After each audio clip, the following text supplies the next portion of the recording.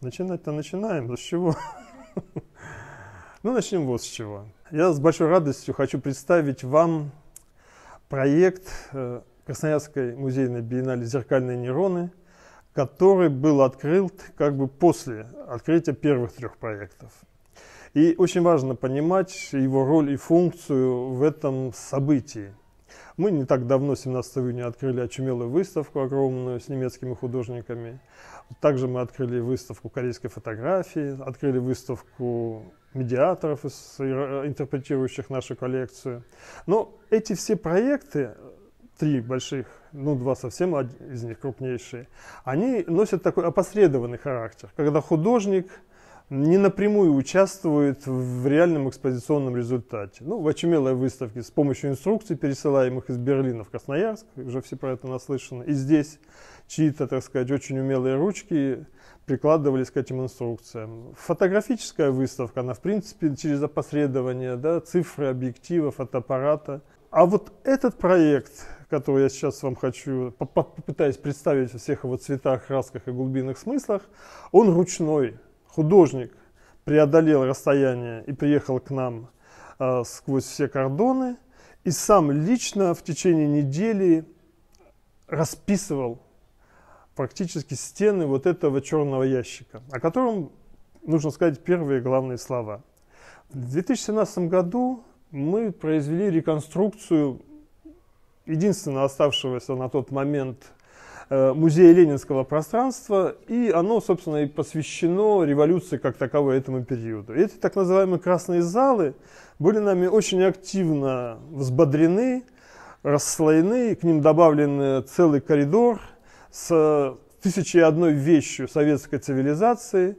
И в то же время здесь, в этом идеологическом контексте, который весь сохранился, мы добавляли такие очень деликатные вторые слои каркаса и конструкции, которые, в общем, оттеняют и разрыхляют этот жесткий монументальный дискурс, так его назовем.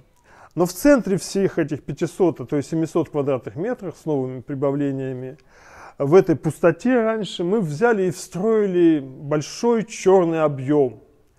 Это такой, знаете, черный куб.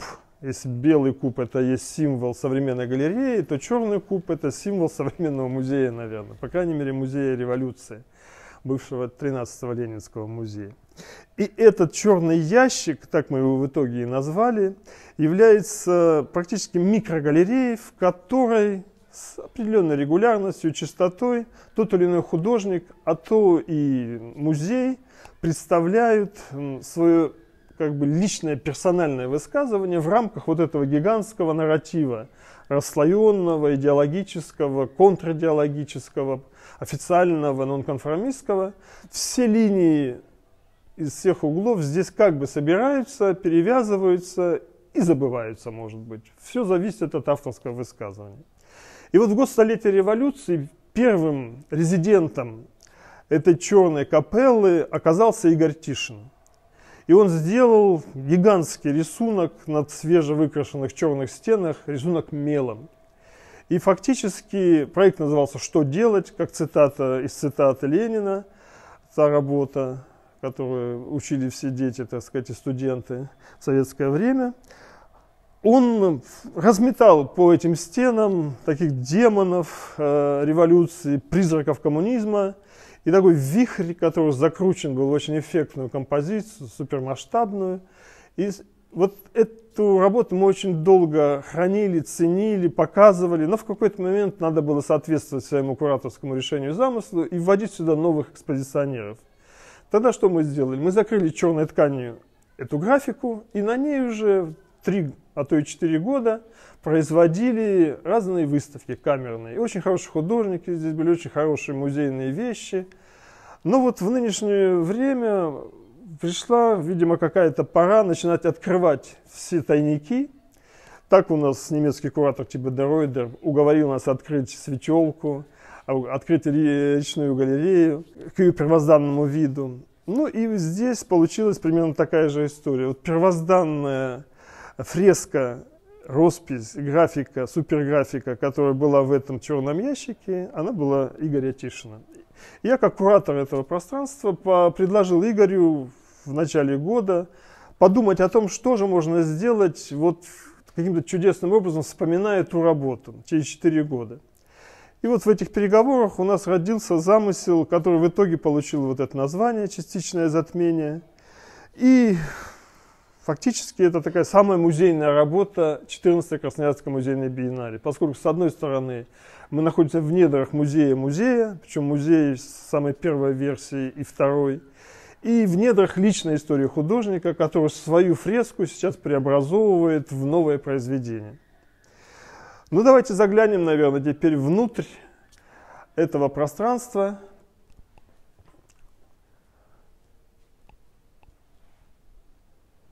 И мы обнаруживаем абсолютно контрастную историю.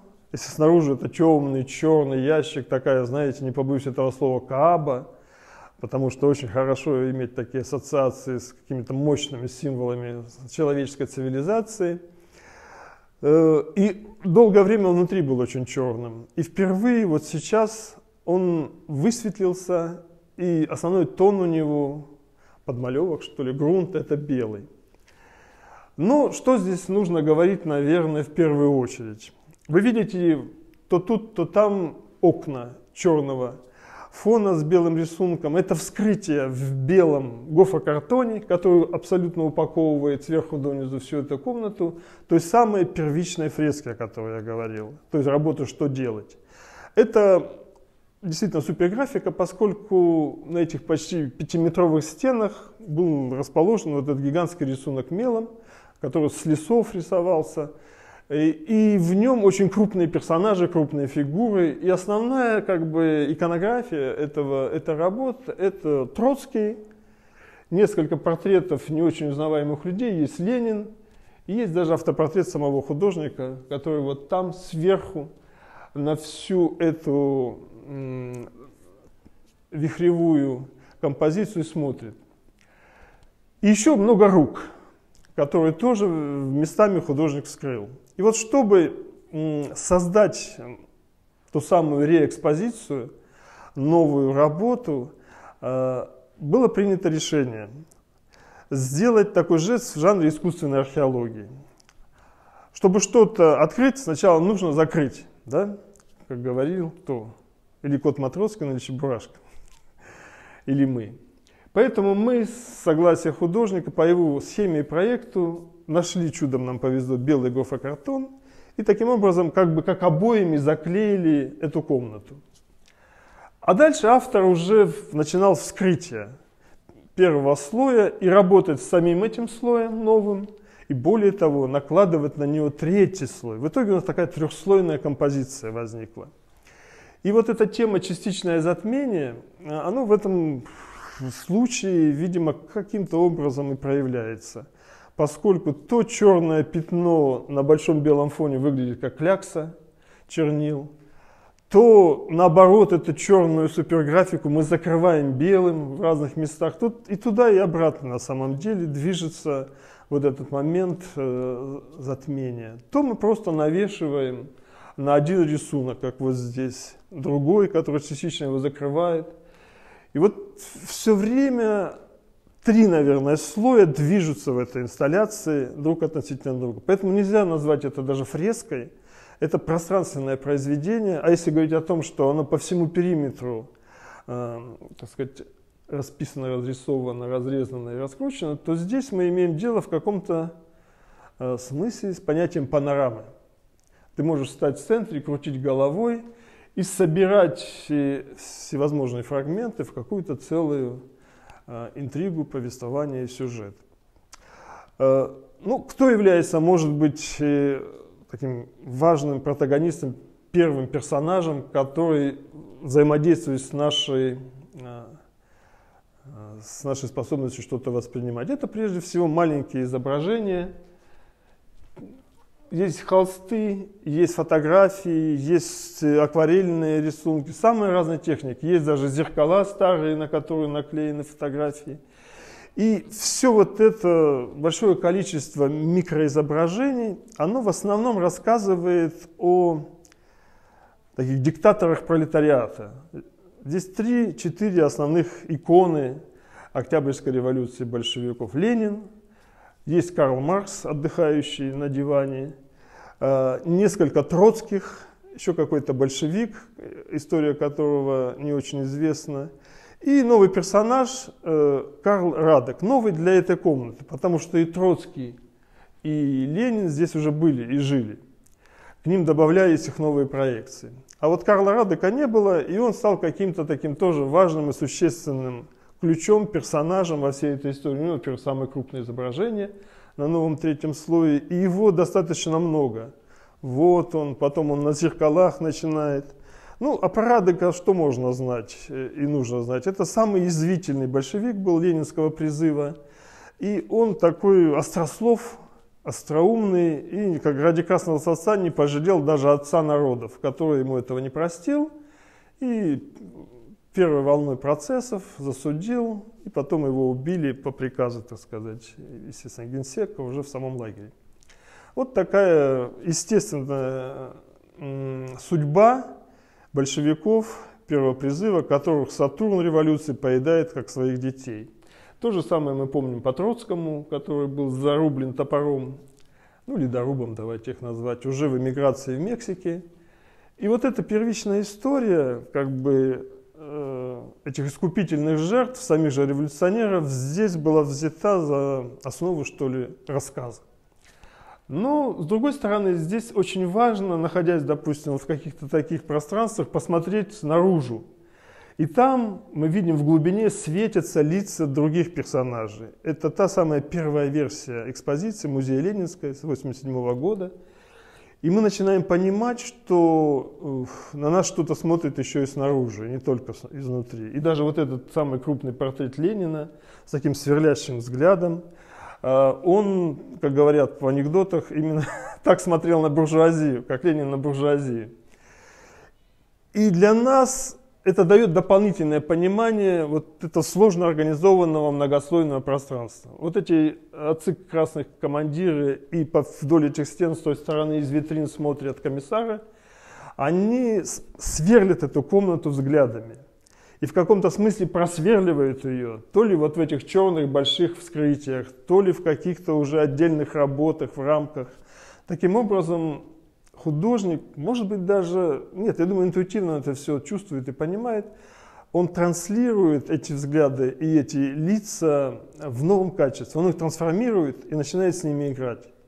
Ну, игра в этом смысле это культурное слово безоценочное. Да? Он работает э, как бы сказать, с этим материалом, как исследователь и одновременно свободный визионер. Поэтому мы начинаем видеть, когда на портрете большевика часть его лица вдруг начинает немножко в бинты мумии, наверное, да, преобразовываться. Здесь он добавляет и рассказывает об этих, так сказать, странных существах. В нем что-то нечеловеческое. Сейчас вот я почему черепашку ниндзя здесь начинаю видеть.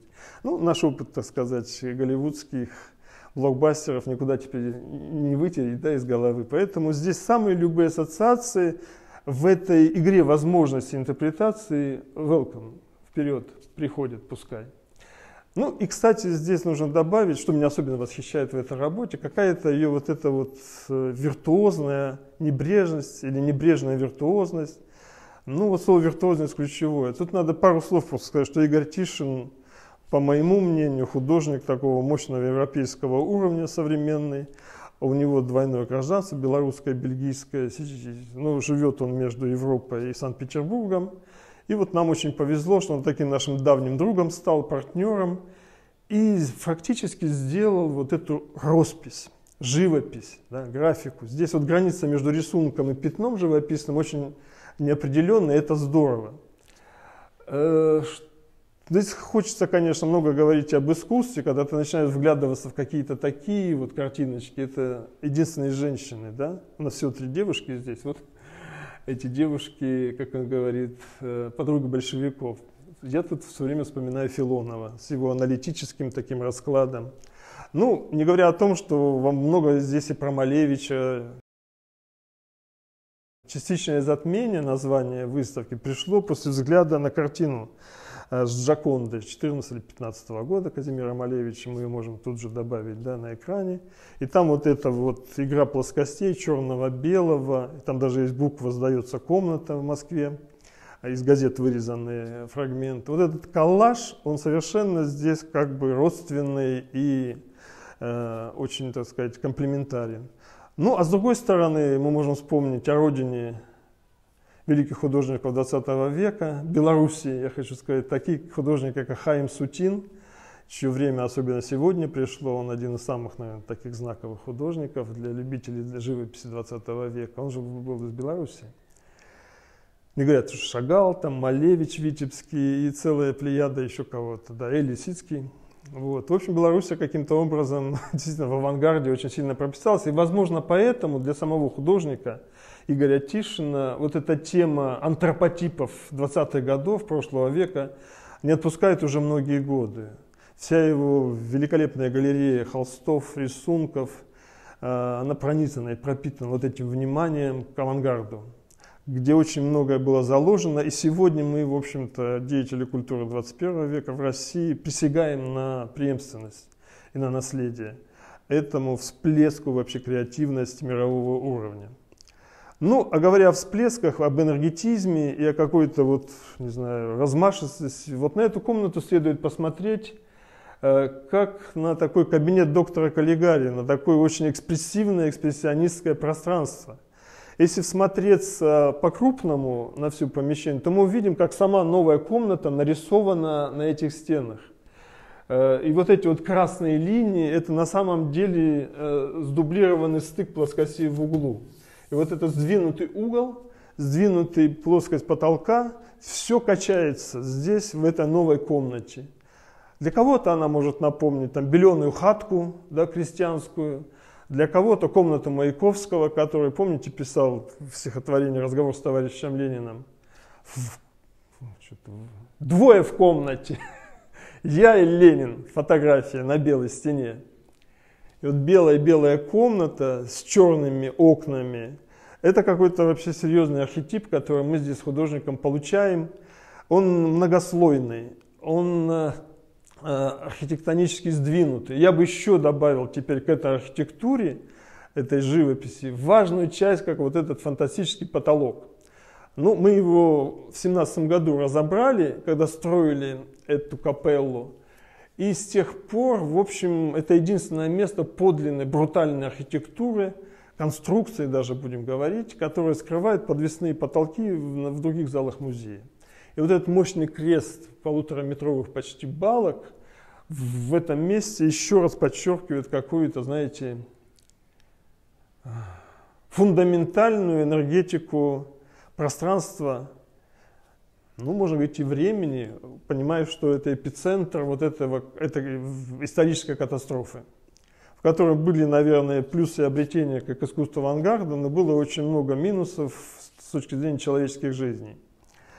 Но тем не менее, этот перекресток, этот крест, он придает пространству, наверное, какой-то еще и сакральный оттенок, такой храмовый, знаете ли, храмовую интонацию, храмовый настрой. И это тоже нужно очень сильно приветствовать, если такие ассоциации уместны, поскольку ну, революция, она имеет дело с сакральными смыслами, когда приходит, да, и всю повседневность, в общем, сильно высоко пытается поднять. Хорошо или плохо, это даже сейчас не обсуждаем, просто так она работает. Это катастрофа. Ну, вы, наверное, заметили, что на этих стенах появляются фрагменты обоев, как вот эти полоски. Э, прорисована мебель в натуральную величину, как это кровать, стул. Иногда, честно говоря, задумаешься, засмотришь, хочется сесть на этот стул. А, тут какая-то странная гладильная доска в которой вдруг зеркально, до того наглажена она утюгом какого-то времени революционного, что превратилась в зеркало эта поверхность. Такое зеркало мутное, старое, которое вас слегка отражает. И на нем вот лежит то ли голова, то ли потом мы присматриваемся часть лица вот этого рисунка. Просто она отсюда вырезана ножницами художником и сдвинута, отодвинута сюда, как маска. И в этом зеркале вы можете тоже поискать и увидеть на самом деле свое кривое изображение. Что меня сильно удивило, художник мне потом говорит, а это вообще-то портрет Сурикова. Внезапный такой амаш Красноярску, вот ему пришел на ум.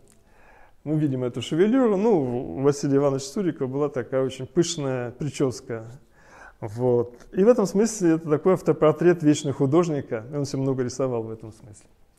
Но когда ты посмотришь чуть выше и увидишь, что там голова Троцкого, над которым замахивается топор палача, то и эти две вещи начинают вступать в общий диалог. Да? Вот здесь уже как бы вторая стадия да, работы ледоруба.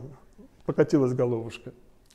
Ну, если говорить о Сурикове, кстати, здесь есть еще важный момент один. Это вот э, фрагмент рисунка первого мелового периода, как бы я это назвал. Это кулак с зажатой свечой. Это тоже вообще почти буквально цитата из «Утро стрелецкой казни». Самая первая картина Сурикова, все ее знают с детства, да? где вот один из центральных стрельцов держит эту свечку, и она вот последний миг его жизни освещает. И вот эта ассоциация вполне уместна, поскольку здесь вот про эти казни человеческие и египетские, так в Библии это написано, очень много чего говорится и показывается.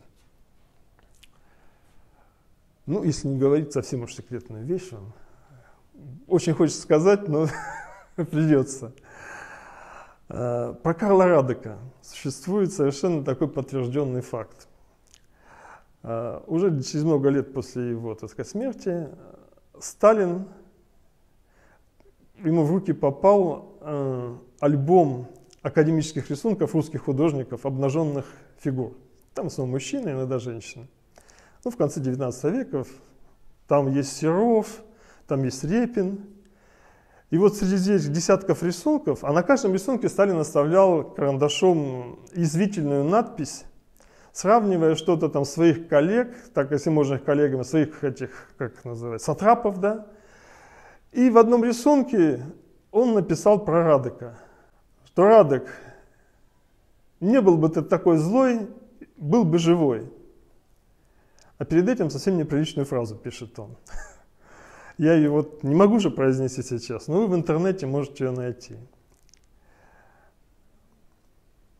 И я к чему клоню, что эта надпись сделана на рисунке Василия Сурика, натурщика со спины. Вот это поразительные какие-то здесь связи возникают, поразительные факты вскрываются вот с этим вот персонажем который на самом деле является псевдонимом, так же, как и Ленин, так же, как и Троцкий, это все их партийные имена. Вот эти двойничества какие-то, э, маски э, очень близко к этому всему театру магическому революции. Э, и они очень свойственны. Ну, это вот немножко про радикальность через букву Е этого пространства. Давайте посмотрим на автопортрет Игоря который сам по себе лицо частично прикрыт надписью цитата из текста «Что делать» ленинского. Он, он очень длинный, большой, он вот до сюда продолжается, но художник фрагментировал в 21 году только вот этот фрагмент. Не закрывает себе. Там продолжение глаз. И вот зная об этом, может быть это какое-то тоже важное послание, художник не закрывает своих глаз, не закрывает глаз на все это. И в то же время главный инструмент вот этой инсталляции – закрытие. Вот этот парадокс, да, закрываем, открывая, и открываем, закрывая. Мне очень кажется ценным, важным, и вот с этим парадоксом как бы мы примиряемся, и, что еще сказать, ну, и расширяет наше вообще образное восприятие, мышление, воображение. Что нужно следовать сказать, для чего это все придумано, как это работает. Я уже несколько раз про это говорил, но сейчас еще раз, наверное, подчеркну, что вот эта многослойность, раз, два с рисунком, да, три, а еще есть четыре, когда зеркало мы подключаемся, и в зеркале начинает отражаться другая э, сторона комнаты. Таким образом, получается вот эта зеркальная механика мира, пространства, времени – и они как туда, так и обратно движутся, эти направления нашего взгляда. И эта игра изобразительной плоскости, это ее, еще раз подчеркну, какая-то удивительная механика, это уникальное свойство именно этой работы из-за ее многослойности, понятно, определенной. Но что бы я хотел вам добавить и сказать, что вот эта вот плоскостная динамика, она здорово ассоциируется с архитектурной динамикой этого зала. Дело в том, что из каждого выхода этого маленького блэкбокса вверх и вниз движутся лестницы. Вот эта лестница, она такая эшеровская, виртуальная, но она нас тянет вот за эту красную огромную стену героев гражданской войны по, с точки, так сказать, зрения большевиков, за стену, где у нас расположилась советская изнанка, огромный коридор. А вот тот выход вытягивает нас в пандус, очень длинный-длинный, который выбрасывает нас вообще в современность, в пространство вокзала. И таким образом это пространство оказывается на оси переходов. И вот эта переходность этого пространства, она тоже такая очень значимая и важная. Вот мне это особенно греет, потому что эта мысль приходит нечасто, и тут нам поможет с вами выдающийся социолог Ирвин Гофман, который сказал, вот сейчас вспоминаю эту важную фразу. Реальны только переходы между мирами, а не сами миры. То есть вы ждали от меня важнейших слов, вот это одни из этих слов, которые я сейчас говорю в эфире. Потому что вот мы вам показываем реальность. Очень важно войти в этот процесс эм, становления всем и ничем, становления другим. И вот эта работа Игоря Тишина, как никакая, прекрасно это демонстрирует, показывает и дает даже в руки нам инструменты восприятия. Просто надо вот в игру этих зеркал, в игру этих пространств, этих балок конструкций войти, отдастся и получить этот уникальный опыт. Здесь мы видим над входом две буквы. Они начальные буквы слова «революция», более того, эти буквы сами по себе целый памятник музея Ленина. Дело в том, что они висели на главной стене в центре в аванзале. И это была строчка «Дайте нам организацию революционеров». А вторая строчка осталась, и мы перевернем Россию. Можно выйти по этому пандусу и ее там же обнаружить.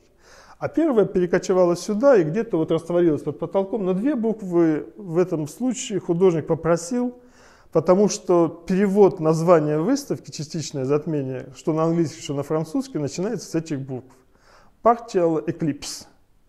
По-французски не буду тут позориться, но примерно то же самое. Eclipse и Partial. И вот это партийное затмение, да, вот прям можно не переводить, здесь тоже очень большое значение. Поэтому P и A это и ре, это ре какая-то ре, реэкспозиция этого зала. То есть очень много значений даже вот в этой маленькой детали. Хотя буквы продолжают скрываться и писаться в самых разных местах. Ну и какие еще очень важные смыслы и ассоциации мы здесь должны вспомнить и обязательно о них сказать. Дело в том, что вот э, смысловой посыл вот этого пространства и этой работы – это демонстрация вот этого важного и главного феномена Музея революции, который мы построили, с которым, в общем, обращаемся к публике, этот главный феномен называется парадокс одиночества и единства. Вот это то, что современная философия, искусство, ну и не будем бояться слова наука, могут взять из этого совершенно отрицательного опыта гигантских потрясений 20 века революции прежде всего и вот этой победной, так сказать, поступи социализма по шестой части суши в течение 70 лет. Э, это очень, с точки зрения гуманитарной, опыт негативный, но с другой стороны там были вспышки да, естественного стремления к солидарности. Вот эта коммунистическая утопия, но, честно говоря, так просто ее через сто лет э, уже не хочется стирать, как абсолютный тупик. Сегодняшняя повестка дня западной мысли, прежде всего, и такой вот продвинутой европейской, это поиски новых э, оснований для сообщества, новых оснований для коммунитарности, для комьюнити, от слова коммунизм откуда произошло. Но уже понимая, что Маркс а и потом вот эти практики, так сказать, реального социализма, они наделали кучу ошибок, но это не значит, что надо полностью закрывать этот проект. И вот это, через, э, так сказать, эти годы, этот опыт с поддержкой там, Вальтера Бениамина, это Мираба Мамардашвили, мы понимаем, что речь идет о том, что нужно научиться оставаться одиноким. Одиночество – это главная, наверное, сущность идентика человека с большой буквы. Одиночество перед Богом, перед космосом, перед миром.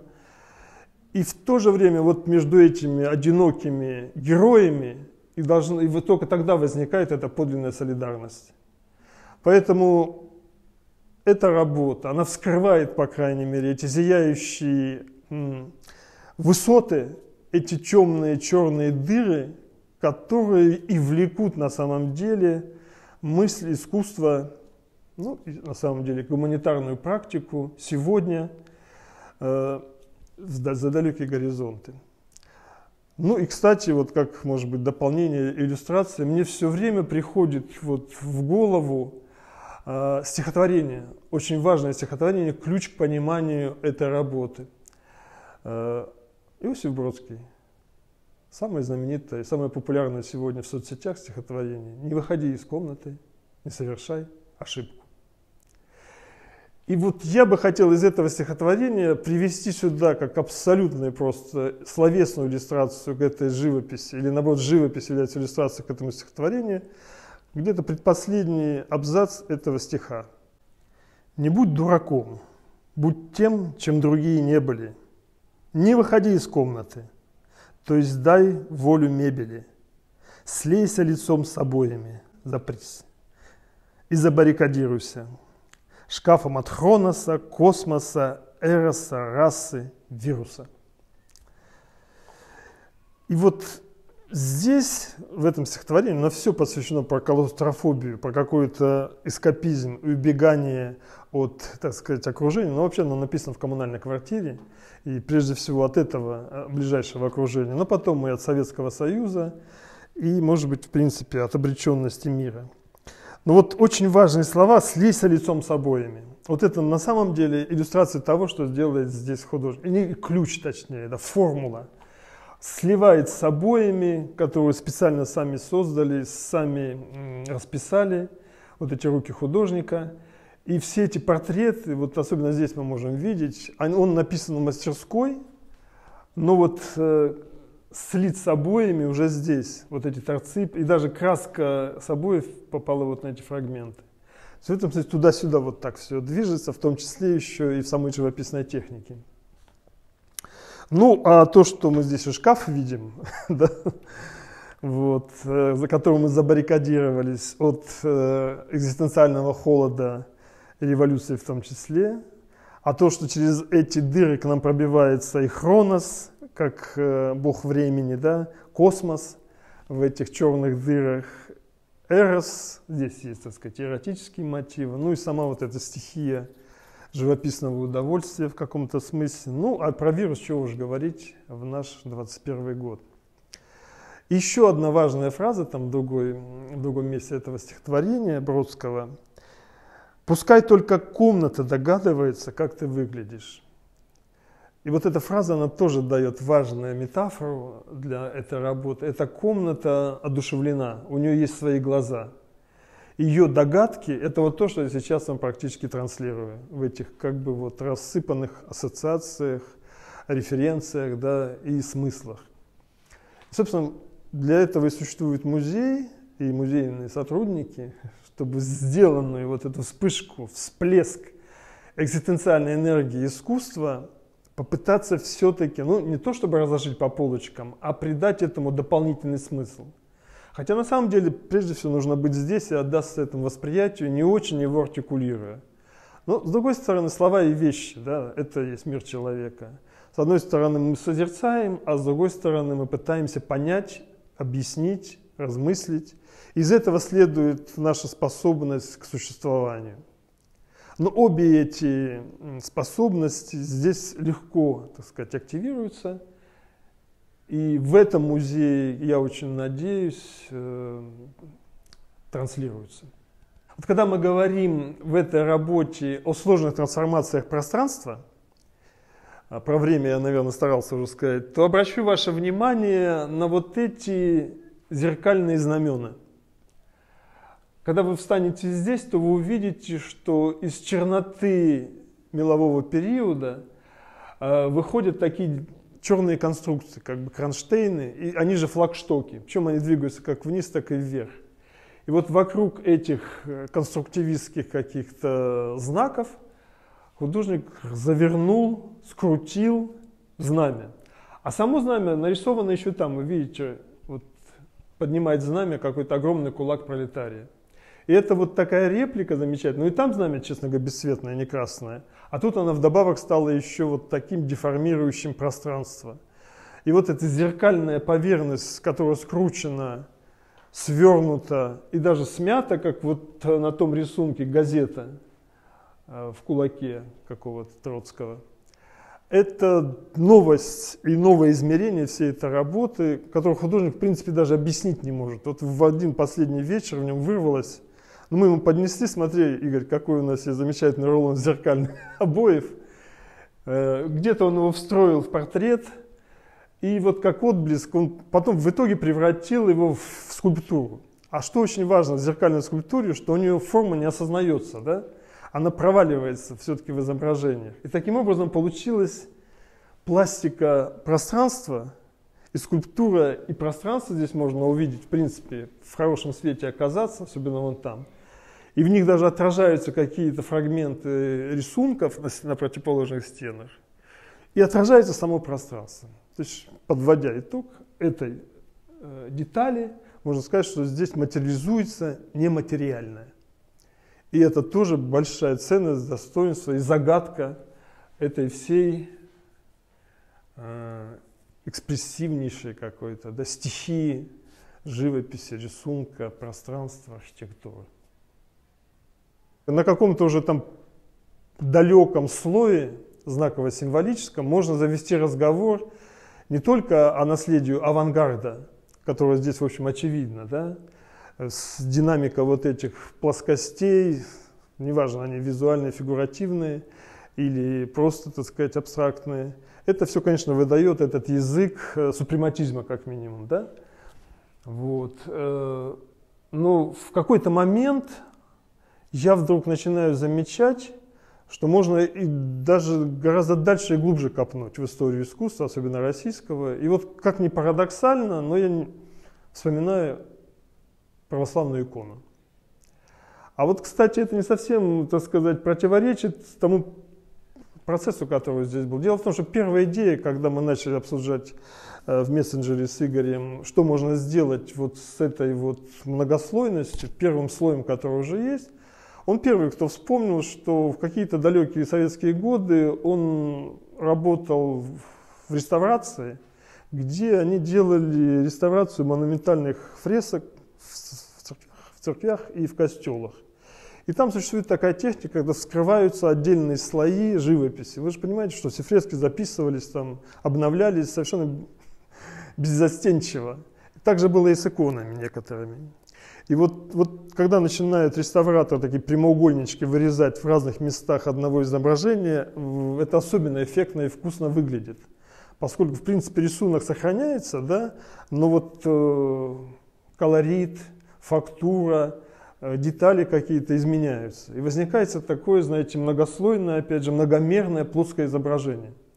И это очень красиво выглядит, иногда даже в музеях это выставляют. И вот Игорь это вспомнил и с этого начал развивать этот проект, что тот первый черный рисунок, первую фреску мы будем скрывать фрагментами, а на основных новых, так сказать, грунтах да, наносить уже смелое то, что сегодня в голову приходит.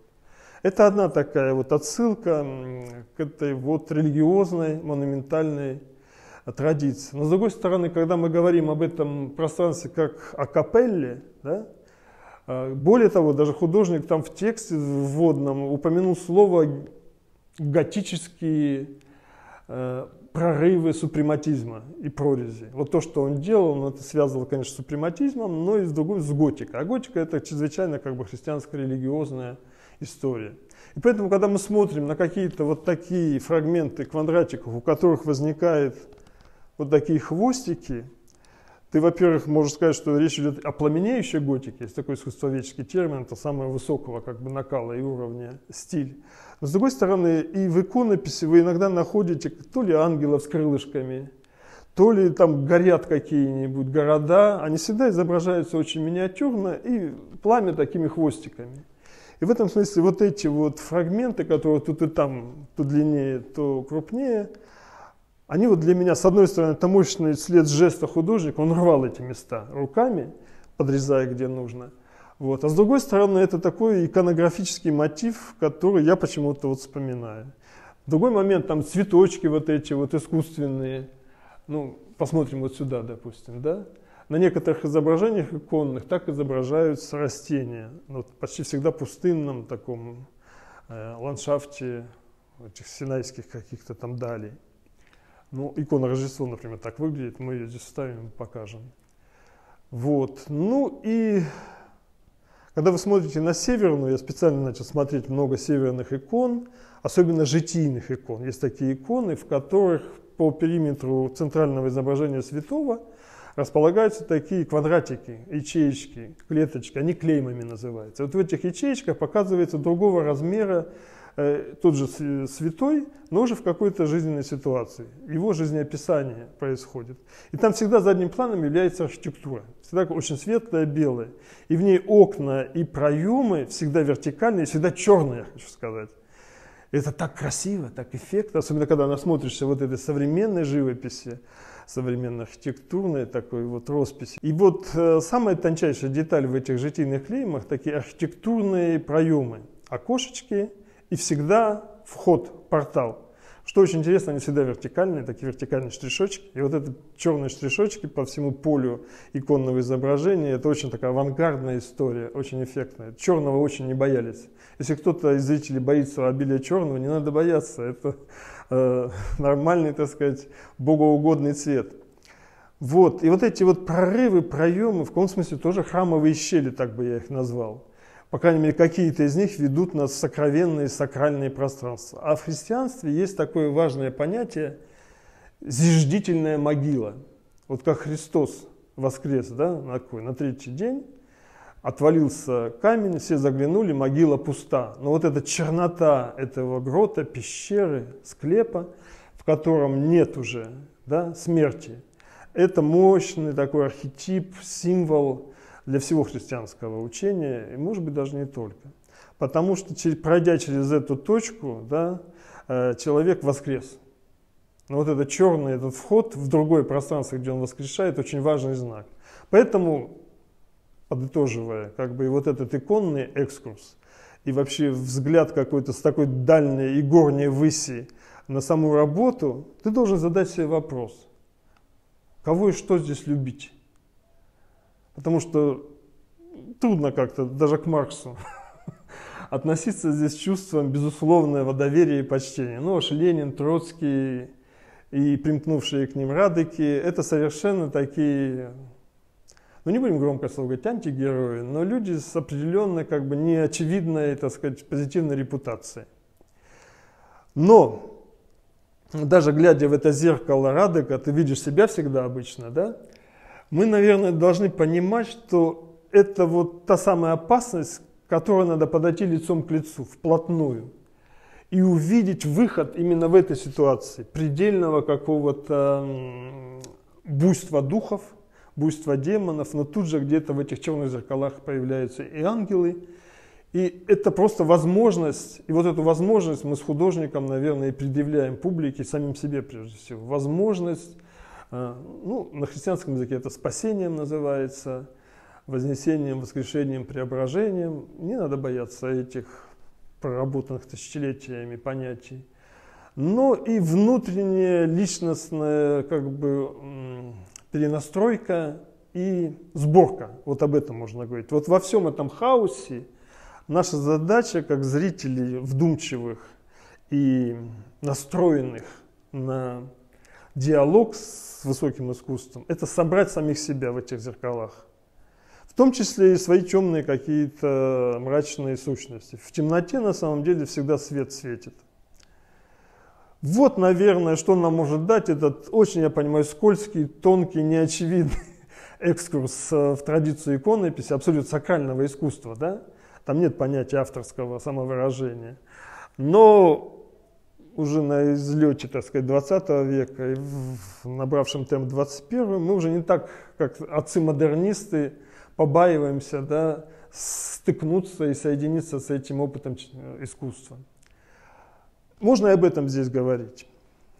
В этом как бы буйстве э, антиклерикальности и атеизма. Хотя мы знаем, что очень быстро Ленин стал иконой, Сталин стал богом, да, эти психологические человеческие механизмы никто отменить не может, даже самый радикальный интеллектуал, богоборец. И даже несмотря на то, что Ницше сказал, что Бог мертв. Но человек нуждается в трансцендентном, вот что мы можем сказать. И даже пролетарий, которому здесь все посвящено. Ну, давайте многоточие здесь поставим.